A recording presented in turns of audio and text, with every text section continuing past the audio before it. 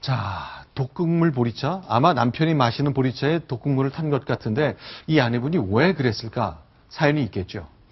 네, 그렇습니다. 일단 법원이 인정한 혐의를 중심으로 저희가 말씀을 드리면은 네. 어, 2007년에 결혼을 해서 두 자녀를 둔 39살 여성이 있습니다. 그런데 재작년 10월 네. 한 호스트바를 찾았다가 그곳에서 알게 된 남성 적개건입니다. 적개건과 작년부터 연인 관계를 유지를 했는데 네. 어, 저- 연인 관계를 유지를 했는데 이제 관계 관계가 지속이 된 겁니다. 이 여성, 이 네. 어, 적개건을 많이 사랑했는지 어, 남성이 먹은 술값 수, 수백만 원도 대신 지불을 하고 한 달 동안 통화한 요금 내용이 한 20여만 원 정도 한 달에. 휴대전화 사용료가 20만 원 넘게 나오는데 이 남성 전화기인데 그 전화비까지 다 내줬다는 얘기네요. 네, 그렇습니다. 네. 그리고 이제 사랑에 빠지다 보니 네. 이제 결혼을 결혼을 생각을 하고 고급 승용차를 사주겠다는 약속까지 약속까지 하게 했다. 됩니다. 그러니까 저 구애를 아주 강하게 한 모양인데 일단 남 아이도 있고 남편이 있는 유부녀였는데 이런 그 이른바 좀 이 바람이 난 거죠.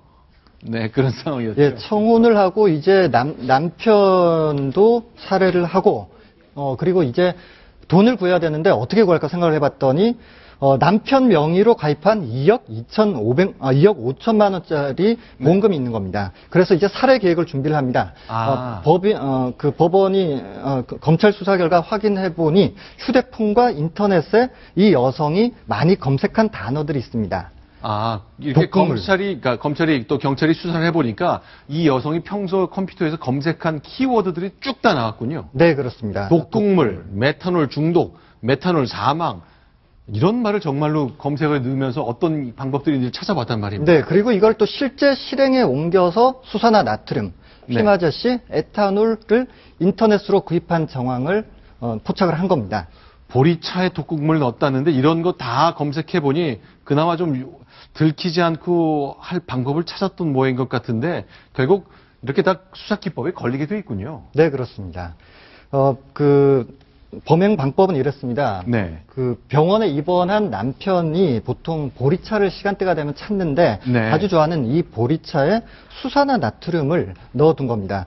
그리고 네. 이 남, 이 남편 네. 아침 마시고 바로 맛이 이상하니까 바로 뱉었습니다. 네. 입 내에서는 지금 화상이 일어난 상태인데 일단 생명에는 지장이 없는 상태이고 네. 그리고 이 여성은 이제 기소가 되어서 현재 2심 재판까지 어, 나왔습니다. 근데 이 여성은요 억울하다면서 아 이게 재판 잘못됐다 항소했다면서요. 그 양심이 마비된 거죠. 보니까 저- 저- 네. 전 상황이 분명히 살인의 의도가 있었고, 네. 그다음 수산나트륨까지 넣었는데도 지금 그 계속 부인하는 거 보니까 지금 양심이 마비된 여성으로밖에 볼 수 없네요. 항소는 전혀 안 받아들여질 것 같습니다. 아 알겠습니다.